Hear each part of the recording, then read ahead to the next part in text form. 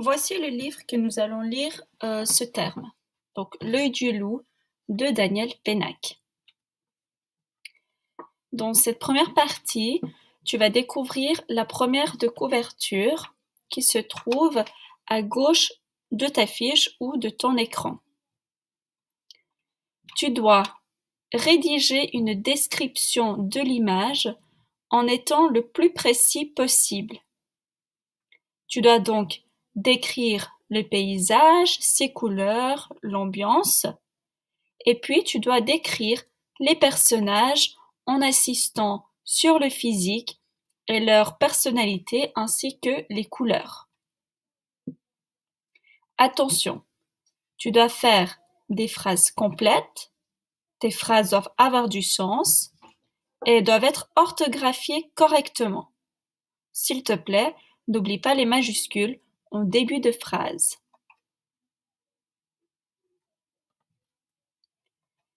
Ici, tu as deux couvertures du même livre. Tu dois donc observer ces couvertures pour, repérer les détails supplémentaires sur l'histoire. En regardant les deux couvertures, tu dois rédiger, donc écrire, un résumé de l'histoire comme tu l'imagines. Attention, c'est un résumé, donc tu ne peux pas commencer tes phrases en écrivant je pense que.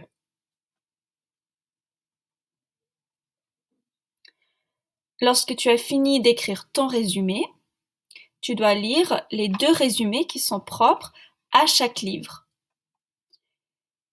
Une fois que tu as, lu les deux résumés, tu dois découper chaque partie, chaque résumé en trois parties. Tu peux colorier les parties de couleurs différentes ou les séparer par un trait à la règle. Je vais maintenant lire les, les résumés. L'œil du loup. La grille d'un enclos dans un zoo. D'un côté, un loup, borgne, de l'autre, un petit garçon à l'œil fermé.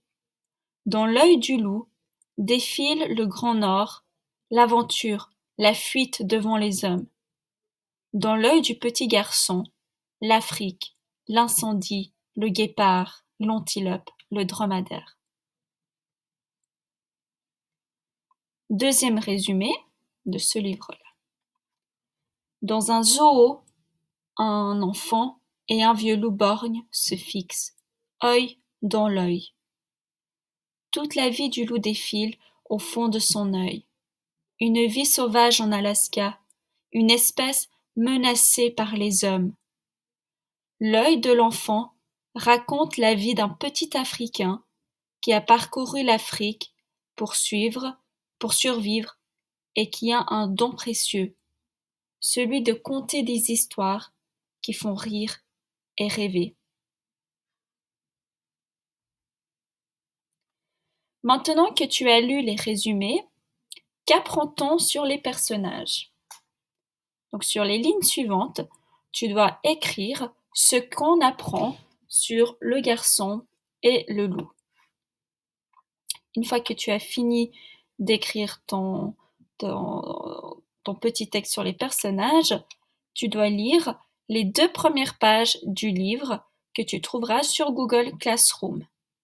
Tu peux aussi m'écouter lire le texte dans, euh, à la suite de, de, de ça. L'œil du loup de Daniel Pénac. Chapitre premier Leur rencontre. Debout, devant l'enclos du loup, le garçon ne bouge pas. Le loup va et vient. Il marche de long en large et ne s'arrête jamais. M'agace, celui-là.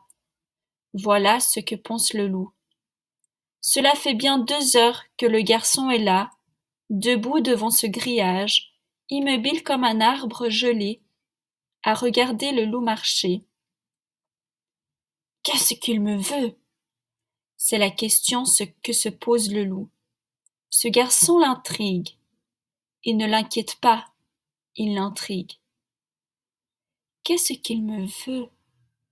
Les autres garçons courent, sautent, crient, pleurent, ils tirent la langue au loup et cachent leur tête dans les jupes de leur mère. Puis, ils vont faire les clowns devant la cage du gorille et rugir au nez du lion dont la queue fouette l'air. Ce garçon-là, non. Il reste debout, immobile, silencieux.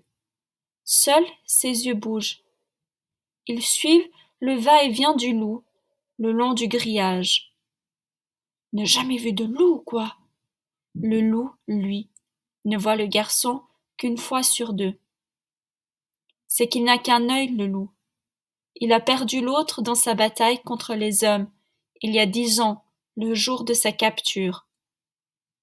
À l'allée donc, si on peut appeler ça l'allée, le loup voit le zoo tout entier, ses cages, les enfants qui font les fous, et au milieu d'eux, ce garçon-là, tout à fait immobile. Au retour, si on peut appeler ça le retour, c'est l'intérieur de son enclos que voit le loup. Son enclos vide, car la louve est morte la semaine dernière. Son enclos triste, avec son unique rocher gris et son arbre mort. Puis le loup fait demi-tour. Et voilà de nouveau le garçon, avec sa respiration régulière, qui fait de la vapeur blanche dans l'air froid. Il se lassera avant moi, pense le loup en continuant à marcher, et il ajoute Je suis plus patient que lui. Et il ajoute encore Je suis le loup.